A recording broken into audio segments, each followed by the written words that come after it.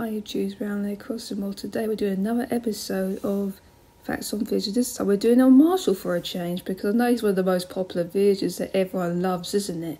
Well one of my subscribers actually suggested it for me and obviously you guys are going to have to probably have to find out because obviously if you look down in the comments you might find who that subscriber might be because at the same time I thought maybe if you guys like, you know, comment down below which one of your favourites are, I might do it for like, you know, facts on villagers for you guys. So then at least it's not like me randomly picking a few of them, you know. So it'd be nice if you guys like, you know, comment down below your favourites and I'll and if I've got the Amiibo cards for them, then I'll probably do them. So let's get into it, shall Marshal has a smug personality because we get along with mostly all villagers except from cranky villagers because cranky villagers apparently they have conflict with smugs, even though it's quite rare. So I'll probably recommend you keeping a smug on your own, but if all your crankies accidentally gets jersey of over smugs, be careful, alright? Marshal's birthday is on September 29th, which means he's a Libra.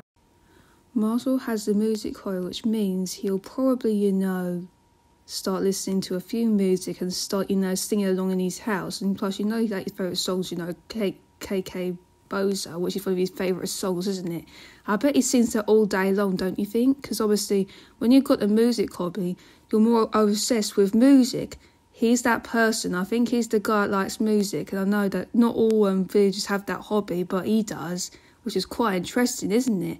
And plus, if you're thinking about it, you, you might see him a few times, you know, like probably singing away, dancing around, like he doesn't, like he enjoys the music all the time, enjoys the rhythm of the music. So that's what I mean by music hobby is that it, it's it's quite rare to see when your villagers have that hobby, but it's quite interesting at the same time. So that's why I quite find it quite, you know, fascinating. You know?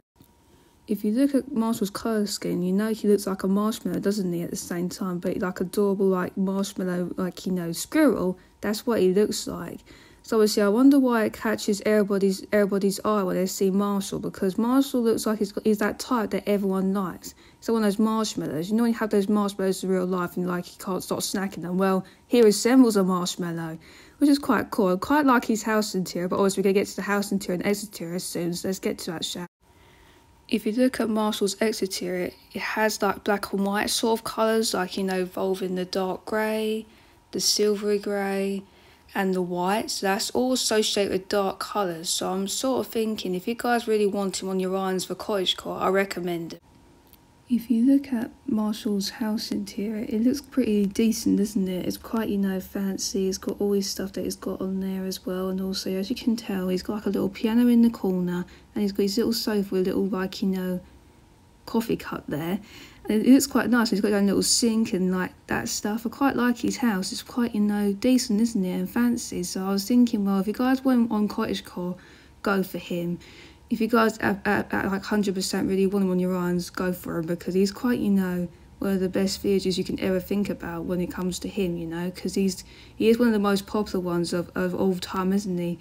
Every time you look on um, AmazonPaul.com, he's somehow still in tier one, so who knows? Obviously, at the same time, let's get back to the video, shall well, that was a lot of things to go over, but at the same time, make sure you do comment down below which one of your favourite villagers are in, you know, Animal Crossing New Horizons because at the same time it will it will help me out a lot. And also I wouldn't know what to do with myself because I don't want like you know random pick stuff again do I? Because it sometimes it like you know I don't know which ones you guys like and that stuff. That's why it's quite handy if you guys comment down below like which are your favourite villagers in this game so I can then do them like Amiibo cards. If I have them or I don't. If I don't have the Amiibo cards for them I might have to stick someone someone different in the comments. So yeah, I might do that again just so you guys can then, you know, have like a chance of which videos you want me to rank next. Like, you know, do facts on videos on next. So that's why I'm so excited. So that's what I mean.